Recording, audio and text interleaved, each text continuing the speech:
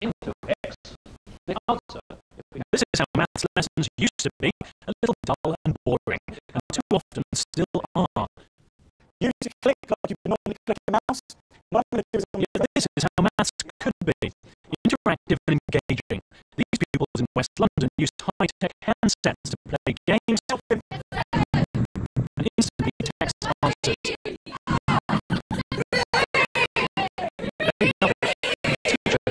their understanding. Swear, that big red swear. But school inspectors say in fact too many maths lessons are not as good as they should be, and pupils are losing out.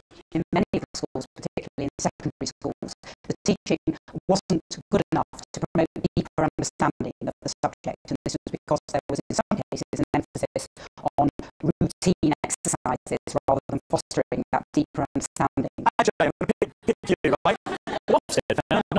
Maths lessons are as interesting or interactive as this one. In fact, it says in secondary schools, 49% of maths lessons are either satisfactory or inadequate, not good enough, says Ofsted.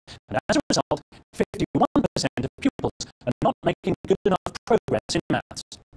Too often,